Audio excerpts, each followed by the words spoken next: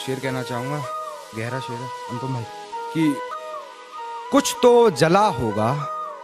यूँ बेवजह धुआँ तो ना हुआ होगा,